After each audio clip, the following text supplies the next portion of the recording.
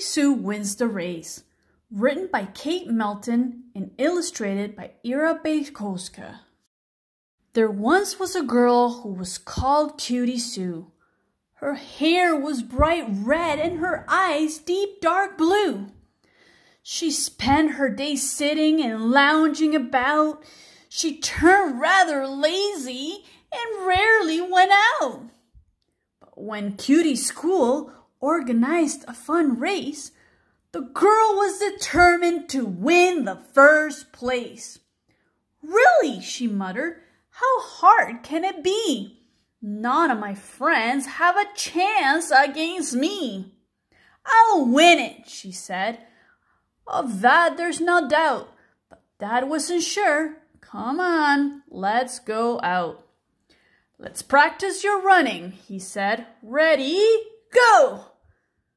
Cutie Sue ran, but she ran very slow.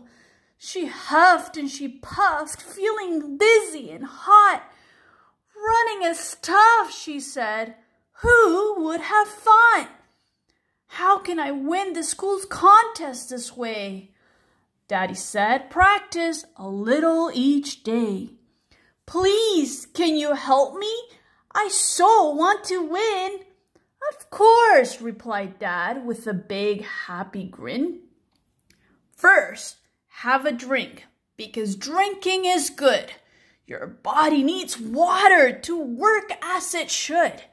Second, eat well. No candies nor sweets. Fresh fruit and veggies are what you should eat. And third, lots of sleep. It's important for you.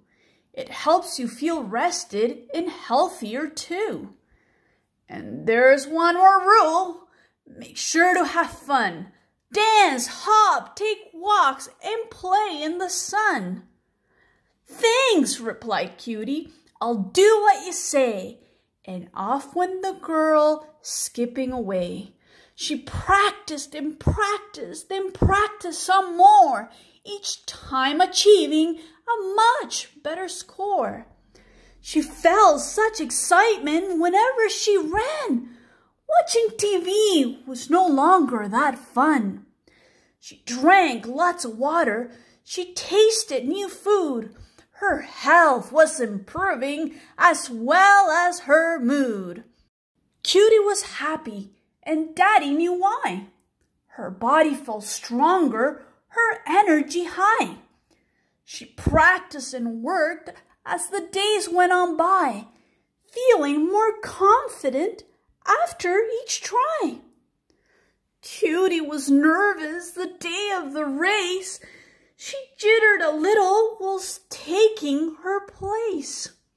One, two, three, go, said the teacher out loud.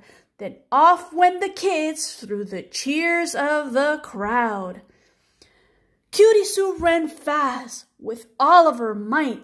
She felt very strong. She felt very light. She gave one more push and one little burst. Then yay, yelled the crowd. Cutie came first. Cutie stood up and received the big prize. Her daddy was watching with very proud eyes. A big healthy hamper? Now that's really cool. And she shared all those treats with the kids of her school. The end.